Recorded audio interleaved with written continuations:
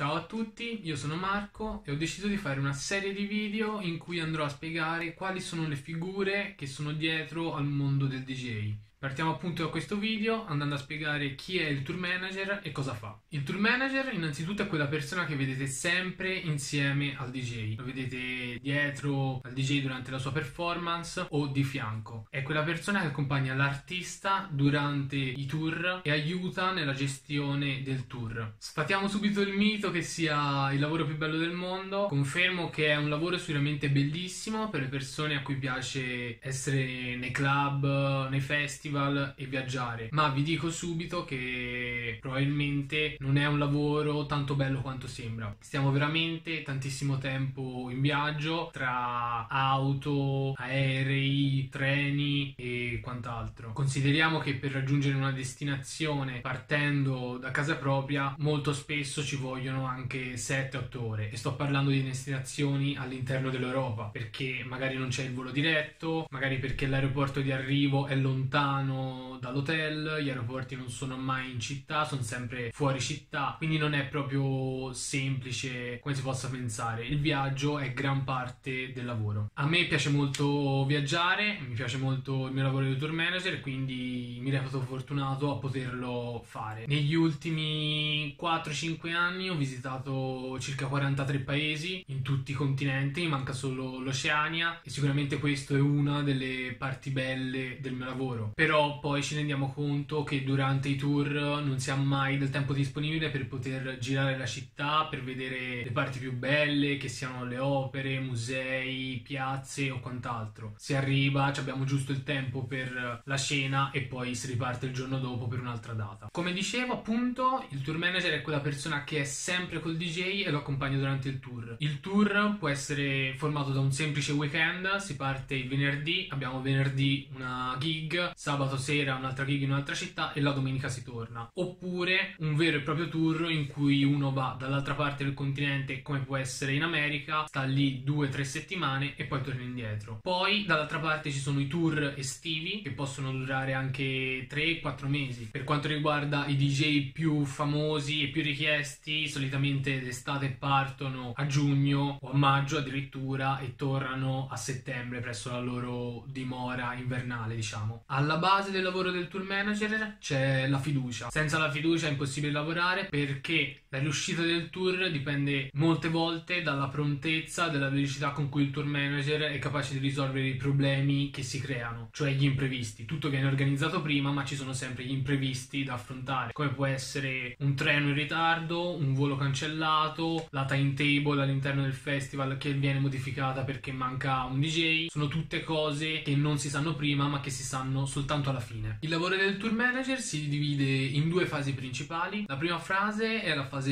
di controllo, in cui andremo a controllare che all'interno dell'itinerario ci sarà tutto, mentre la seconda fase è quella di gestione del tour durante il suo proseguimento. Nella prima fase, in quella di controllo, noi riceveremo dall'agenzia un file che si chiama itinerario. Più nel dettaglio è un PDF. All'interno di questo PDF ci saranno tutte le informazioni necessarie per quella determinata gig. Se parliamo di un tour vuol dire che riceveremo un itinerario per ogni singola gig. All'interno di questo itinerario, come dicevo, ci sono tutte le informazioni. Partiamo dal numero del volo, dal numero della prenotazione, numero dei sedili prenotati all'interno del volo, numero di tutti i driver, cosa molto importante, ci ritorneremo dopo, numero del promoter e del suo assistente, timetable della serata, nome dell'hotel e nome del ristorante. Una volta che abbiamo controllato che all'interno dell'itinerario ci siano tutte le informazioni necessarie, andremo a contattare il promoter. Dobbiamo farci dare un'ulteriore conferma dal promoter che il tech rider sia approvato e che i numeri dei driver siano tutti esatti. Molto importante che i numeri dei driver siano esatti perché ci sono almeno 6 spostamenti da dover effettuare per ogni gig, dall'aeroporto all'hotel, dall'hotel al ristorante, dal ristorante all'hotel, dall'hotel al club o al festival, dal club al festival festival all'hotel di nuovo e poi dall'hotel in aeroporto, dove poi si prende il volo per arrivare alla destinazione, può essere la città per un'altra gig oppure per tornare a casa. I driver, nella migliore delle ipotesi, sono solo uno, cioè un driver che fa tutti e sei gli spostamenti. Nella peggiore delle ipotesi ci sono sei driver diversi, quindi dovremo avere il numero di tutti e sei i driver. La seconda fase invece è quella del tour, dove il nostro compito è far sì che il tour continui il suo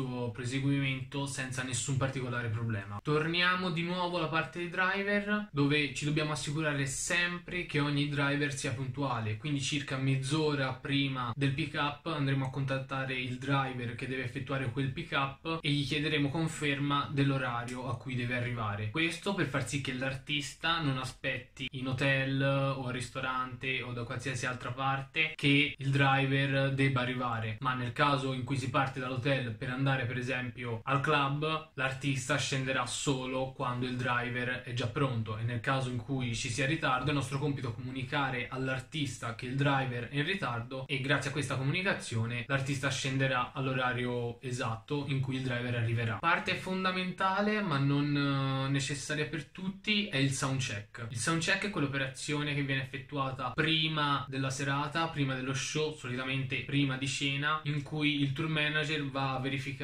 che tutto sia ok per il setup dell'artista. Solitamente viene effettuata solo per chi suona con i vinili perché richiedono una maggiore accuratezza e è importante verificare che tutto sia ok prima dello show e non durante perché se c'è da sostituire un giradischi è un'operazione complicata, diciamo, e va effettuata prima e non in corso d'opera. Nel caso in cui invece l'artista suona con Tractor o con eh, CDJ, è un'operazione che si può benissimo evitare e si andrà al club direttamente la sera prima dello show. Quando si arriva al club per lo show si fa accomodare l'artista nei camerini, che di solito sono presenti anche nel club e non solo nei festival, e il tour manager va diretto verso il DJ boot, più comunemente chiamato console e inizia a montare la strumentazione necessaria al DJ. Se l'artista suona solo con i CDJ è molto semplice perché dovremo solo infilare le chiavine all'interno dei CDJ, mentre se suona con Tractor dovremo montare e collegare laptop, cioè il computer, la scheda audio, i controller e tutto andrà collegato e deve essere funzionante. Andremo a verificare appunto alzando un canale che ovviamente non sta usando il DJ che sta suonando per vedere se è tutto funzionante. Una volta che è tutto pronto per l'inizio dello show andremo a chiamare l'artista e lo faremo arrivare appunto in console. Il nostro compito è far sì che l'artista sia nelle condizioni ideali o comunque migliori possibili per il suo show e per la sua performance. Dobbiamo stare attenti alle persone che magari tendono ad avvicinarsi troppo all'artista, è una cosa molto comune. Vi assicuro che in console succede veramente di tutto e questa è una delle parti principali, anche se sembreremo antipatici verso le persone che tendiamo ad allontanare, è una parte molto fondamentale. Dovremmo assicurarci che l'artista abbia sempre il bicchiere con quello che preferisce bere di lato dalla console e sempre pieno, in modo che non debba pensare lui nel momento in cui ha sete a riempire il bicchiere, ma quello è un compito che dovremmo fare noi. Altra parte importante è la parte delle foto e dei video. Solitamente i tour manager hanno in mano il telefono dell'artista da cui fanno tutte le storie o si ha accesso ai profili social social in cui si possono effettuare le storie con il proprio telefono. Andremo a fare anche varie foto e video che insieme a quelle fatte dal club o dal festival andranno selezionate dal social media manager dell'artista che deciderà quali sono le più idonee per essere caricate sui profili social del DJ. Finito lo show si smonta tutta l'attrezzatura e solitamente si va subito in hotel. Questo succede perché viaggiando tanto e dormendo poco tutte le ore possibili per stare a riposare usare in hotel sono fondamentali perché se uno show per esempio finisce alle 5 trasmontare l'attrezzatura raggiungere l'hotel saranno almeno le 6 e poi dovremo ricordarci che il giorno dopo dobbiamo partire per un'altra gig. In aeroporto bisogna arrivare almeno un'ora e mezzo prima quindi le ore per dormire sono sempre veramente poche. Dietro di me avete visto scorrere delle immagini sono le foto del Decibel Open Air dell'ultima edizione dello scorso anno che ringrazio appunto per averci dato l'autorizzazione di utilizzare. Se avete domande o dubbi lasciateli in basso nei commenti, ci vediamo settimana prossima per un altro video. Ciao!